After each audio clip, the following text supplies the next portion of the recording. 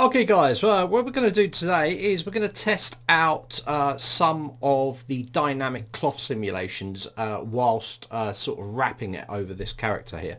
So I've got this little character and what I'm going to do is I'm just going to take her and uh, just, just center this up and I'm going to lock it to here. I'm going to turn perspective off as well. And I'm just going to turn it this sort of sideways so it can the cloth can basically run over the top of her. Okay, so uh, next thing I'm going to do is I'm going to append in a nice little plane 3D. Here we go. And I'm going to select that down there, so it's selected. And I'm going to take that cloth and we're going to move it. So I'm actually going to rotate it sideways 90 degrees. Oh.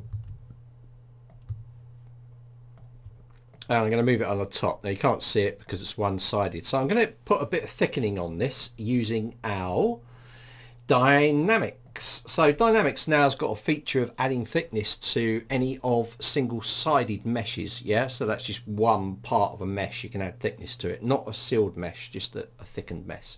Mesh. So I'm going to bring this out. I'm going to see that thickness is being added to that. I don't want that much. I just want a little bit here uh, just to give us a simulation of what we're going to look at. Okay, so this is a fairly low resolution model. It's not that high. Um, I do have dynamics on, so obviously if I drop that down, it's going to be a little bit quicker probably to simulate.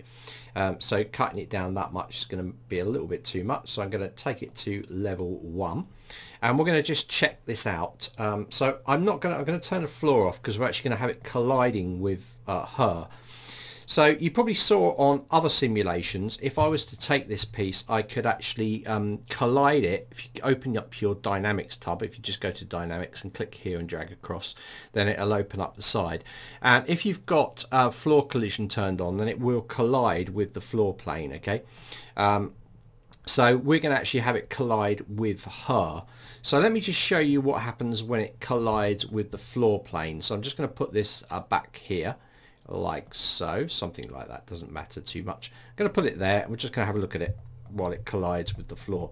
So I'm going to run the simulation. This is just a default setting so I'm going to run this simulation. You can see that's what's happening. It's colliding with the floor. However let me go back a few here. If I run this simulation now what you're going to see is going to pass straight through her. And that is basically because I haven't got collision volumes turned on. So if I turn collision volume on here by clicking in here then uh, it's actually going to work out her collide uh, her collision and it will collide with her when I run the simulation. So if I run it now you're going to get this sort of thing happening. Now this is what we're going to be playing with because we can make this look better. At the moment you can see it's just dropping straight through and it will actually um, go straight onto the floor and collide with the floor. If I don't want it to collide with the floor I can turn floor collisions off which will help it a little bit um, be a bit better but then it will go straight through the, the floor so notice it's just basically gone straight through her. Now there's a reason, a few reasons why it's gone straight through her. One is um, our simulation iterations are not high enough. So if I turn these up to about 167 now and I run this, you're going to see it slightly performs in a different way and it kind of clings to her um, quite a bit more. So those iterations really slow it down. Now, if you do have problems, because this will add speed um, on this actual simulation, then you might want to turn um, gravity strength down a bit, which can also help. So I'm going to show you, I'm going to turn, crank this up to about 620 now, and we're going to run it. And you can see it's a lot more accurate now can see there. But we can get it to be a little bit more accurate than that. So I'm going to take this down to 100 that we had before and you notice that it'll go straight through the model basically like that. It'll kind of run off. Um, so what happens if I turn the gravity strength down? It's going to slow everything down and it's just going to actually do the same as turning up the simulation iterations. Notice it's clinging better to it so basically what you can take away from this is by actually getting the simulation iterations correct, that's this button here, and adding more, it's going to be closer to the model. It's going to be more accurate to the model. Um, by turning up the gravity strength, it's going to go faster and the simulation iterations are not going to keep up with it because it's flying down so quickly. So it kind of pulls through the model. So as a kind of um, balancing act if you get your simulation iterations right and you maybe reduce the the gravity strength down then you can get it to perform much better. So if I come down here I'll, I'll take this down to like 48 and I'll turn gravity up to max. And we'll just reset this so that's up to max. Watch this now. Whoa, straight through it. Hardly any changes at all. Now if I slow this down, so it's slowed down, this is probably a little bit too slow, you're going to see just by changing that gravity strength, it's going to take a little bit more time for the simulation iterations to keep up with it. Do you notice how it's being a bit better there? It's got the same iterations, but I've just turned the gravity down. So get that right in your head because that makes a big difference. Also, be very careful with the amount of polygons you've got on this. Now, this is dynamically simulated, so there's not too many polygons. But if you do, if you subdivided this a lot of times, it could cause a lot of problems because the computer might not be able to keep up with that amount of polygons or that amount of vertices and trying to work them out as it works its way through it. So these are two things to definitely bear in mind when you're working with this sort of stuff. So that simulation iteration will give you a really good start and then I turn this to about five or six and I should get a pretty good flow on this. So you can see that's pretty accurate, you know. You can probably get it a bit tighter. Let's just slow this down a touch here and let's just crank these up a little bit more and see if I can get this to be a little bit better here. So you can see already it's looking a lot better on that model as it slips down. Now also, this is something else to bear in mind, we got a firmness. So this is how firm it is. So if I was to do it like 4, it's going to, I'm going to turn this down just for speed, just to show you guys at speed. It's going to be a bit firmer. So it's going to be more like a leather. Do you notice that? So if I do exactly the same now and turn firmness down to 1, uh, it's going to be a bit more like cloth. Do you see that? So that firmness will dictate whether it's a kind of like a silky material or whether it's a leather material going over the top. And you can turn that strength down there as well. You can see what that does when I do it. That will kind of be really, look at that, it's really kind of like almost like water. So that firmness, that strength of that firmness is also reacted in there. So you've got two controls. You've got that firmness and you've got that strength of firmness as well. So by again playing around with these. So you can speed up your simulations by cutting iterations down and um, increasing the gravity strength, but then you're going to not get a good result. So you might want to turn that gravity strength down a bit so the iterations keep up with it, or turn the gravity strength up and make sure that you've got more simulation iterations. Yeah, sorry that's confusing for you guys, but kind of the only way to sort of explain it. So you've also got a resolution here. This is the collision volume resolution. So what I want to do now is just show you kind of how close it's getting to it as we're working with this. So I'm going to take this model and I'm just going to go back with her so I straighten her up and I'm going to take this, I'm going to take her about there and we're going to look at what happens when it collides with this with gravity turned on. So I'm flicking back to this now. Just turn this off for now and we're just going to run this so it's run straight through her now. Um, probably need to turn this down a bit. Oh. Might need to bring it across a little bit more. I need to recalculate the collision volume. Okay, make sure you do that. There we go. And you can see that's pretty good. Look, it's kind of wrapping right on her head. Do you see that? So what happens if I change this a little bit and I just turn this inflate down to zero here and you'll notice it's kind of still wrapping on it but it's cut in slightly there. Do you see that? So if I turn this inflate up, let's redo it, it's kind of much higher. So it gives an inflation or an up and down level. It's kind of weird the way it um, says inflate because I think it should be kind of surface closeness or something because it's not, it kind of inflates around the model um, which is kind of weird. So I always like to put this one's pretty good because it kind of goes straight on the surface. But remember also we've got dynamics on. We've got this uh, thick skin turned on. So if I was to turn it off, you can see that's the bottom of it. So let's run this again. Let me just um, press Control Z a couple of times here. And let me just run it again with an inflate of 1. So let it go off the head a bit there. And you can see it's that bottom edge that's right on, that's right over it. You know, so it's that, sorry, that's that top edge that's right over the top. Do you see that?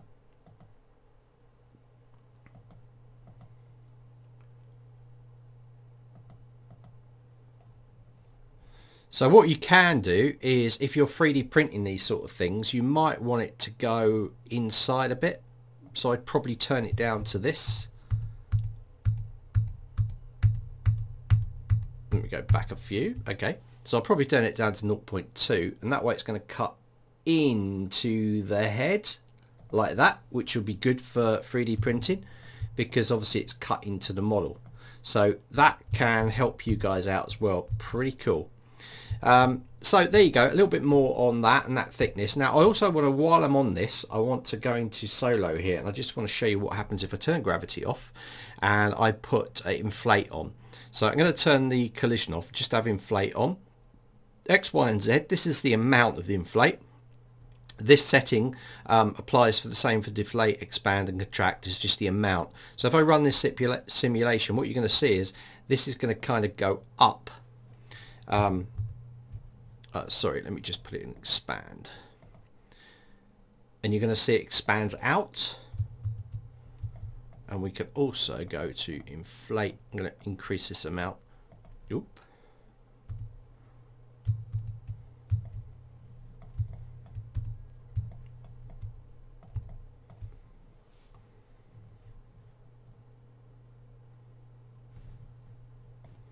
Now, sorry, with this, um, if I go and grab something like the model here, so I've got I've got her. Let me just come back into this, and I was to use inflate in here. So I've got this collision volume. I've got inflate turned on. Watch what happens to the model when I run this. So it's going to inflate, and because um, my model's quite dense, sometimes it is a little bit unresponsive.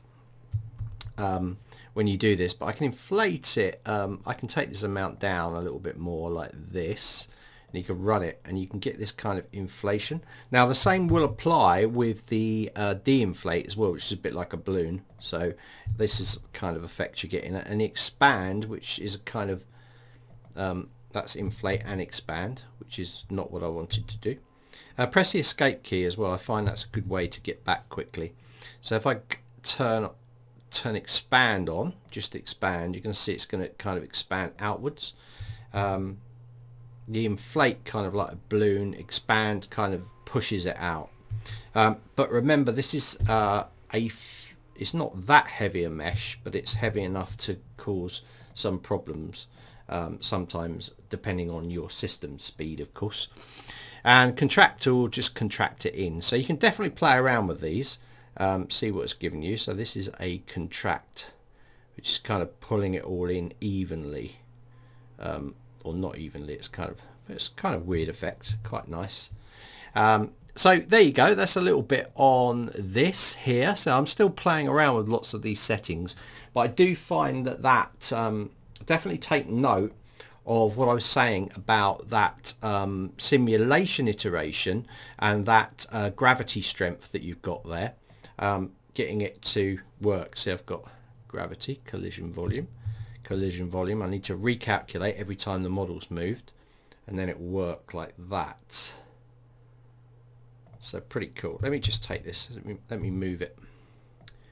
Let's move it there. Very cool. So it's great. And of course, because I've got the um, dynamics on here, I can increase this level in here and make it look better. Put that up to four. Run a simulation.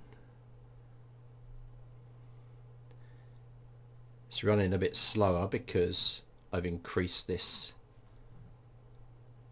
a bit in here but it's very good and also remember guys you can always use those brushes that you've got in here. So if I go to BT on the keyboard, I can use this um, uh, transpose cloth brush, which is now activated, notice there, and it works with the dynamics that you've got set. So if I take this and I move it down, I can kind of take my time. If I do it really quickly, you're going to have problems. You need to do it nice and slowly, like this. And notice if I do that, it kind of goes a bit whoa, you can pull it through the model. So be a little bit careful, but um, by using this, you can actually go in here and use things like the, um, you know, move things on the radius there, bring this down over the top. You could then start the simulation again if you wanted to. So you've got full versatility in here. Now I would suggest maybe turning this down a little bit here and um, it will run a bit quicker then if I put this down to 2 and then I run this simulation it's going to be a lot quicker and gives you quite a good so if I want it to be a little bit more cloth like I could turn that strength down a little bit more. And you get that kind of thin pulling out. Right do notice also that it stretches. So you can avoid a little bit of this and also notice that it's also colliding with itself. Do you see that? To stop colliding with itself, you can turn on self-collision. So if I put it about 2, next as does add extra time to the simulation, but will make it not overlap like you were seeing earlier. So if I do this now, it will collide with itself. Do you notice how it's colliding with itself? Which gives you a little bit more of a realistic look. And then it will finally reach there. Now if you run this simulation too quickly, because you notice it's pulling there at the top, and it keeps running. If I run this too much, it will actually stretch the mesh. So you have to be careful. So to avoid that, I mean, if I run this really quickly, let's turn these iterations down and turn the gravity strength up. Look what happens. It kind of stretch, stretch, stretch, stretch, stretch, stretch. It will keep going stretching, which could be quite good for a skirt, but the actual original surface area was not like this. It was much smaller than that.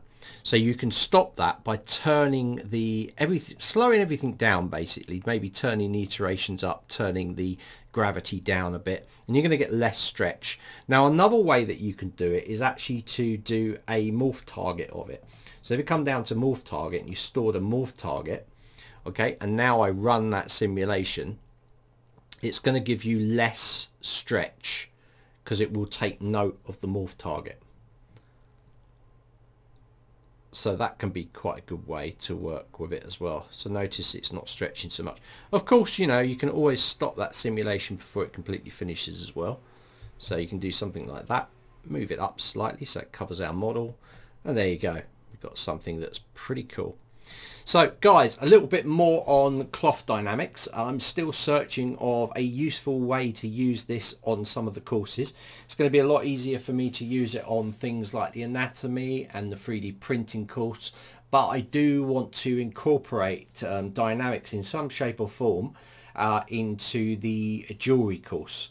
So that's what I'm heading towards. I'm going to be showing you a few more tips and tricks um, or a few more of the features that actually come with uh, ZBrush 2021.5.1. So I'll be showing those uh, over the coming few days or weeks.